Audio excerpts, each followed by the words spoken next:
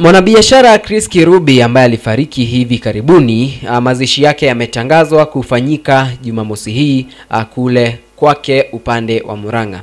Ah, Mwanabiashara huyu ambaye alifariki akiwa na umri wa miaka 80 alifariki baada ya kuugua ugonjwa wa kansa kwa muda wa miaka michache na hata unakumbuka alikuwa ameenda kule Marekani kwa ajili ya kupata matibabu.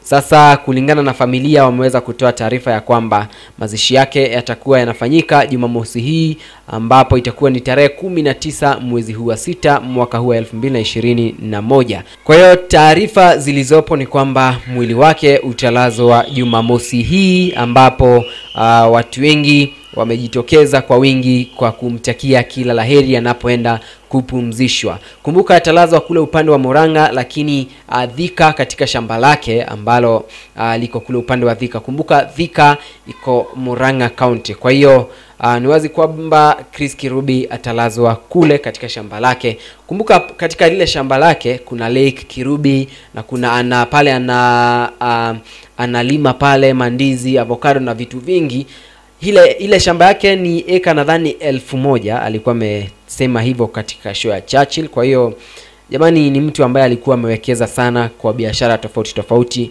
na ataiacha Kenya ikiwa inamsherehekea miaka na mikaka kama mtu ambaye alifanya nchi hii idevelop big time. Kwa hiyo nataka nikusomee comments chache tu za watu ambao uh, wanasema kwamba wengine wataenda mazishi yale, wengine wanazidi kumkumbuka kwa mazuri. Nikianza na Norris Miki ambaye anasema I pass these condolences to the entire family, may he rest in internal peace. Kimani anasema we came from the soil and uh, the soil is where we shall return. Rest easy Bazu. Uh, Dean Ogira anasema this guy terrorized many families in uh, Uchumi. I'm not a prophet but two rivers uh, mall will collapse uh, the same way uh, he killed Uchumi. Uh, he used uh, his uh, okay, okay, sawa sawa, hiyo sitaendelea sababu anazungumza kuhusu Two Rivers ambayo Chris Kirubi ana share kubwa sana pale.